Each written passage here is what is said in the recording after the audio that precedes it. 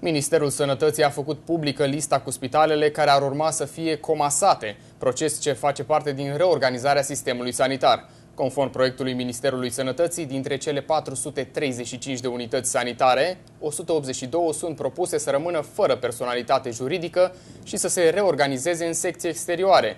Dintre cele 182 de spitale, 111 vor fi comasate.